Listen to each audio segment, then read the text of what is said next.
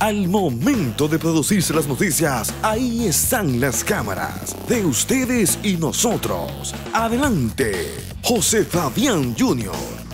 Empleados del laboratorio del Hospital Regional Universitario José María Cabral Ibáez paralizaron sus labores en la mañana de hoy debido a las pésimas condiciones que tiene el mismo.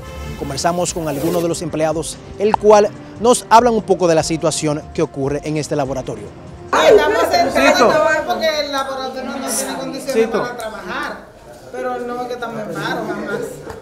No están trabajando ahora. No estamos trabajando, pero un paro es una huelga y no estamos haciendo huelga. Pero ha suspendido por algunas horas. Por la situación del laboratorio.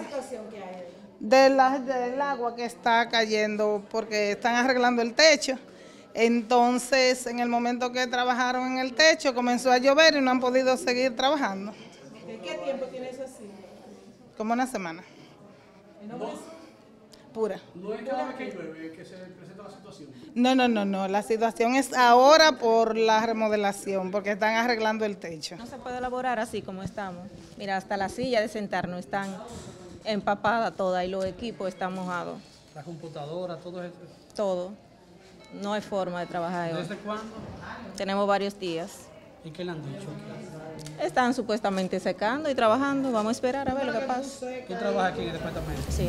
Los empleados esperan que ya para mañana esta situación se mejore para que puedan dar servicio a todos los dominicanos que acuden al laboratorio.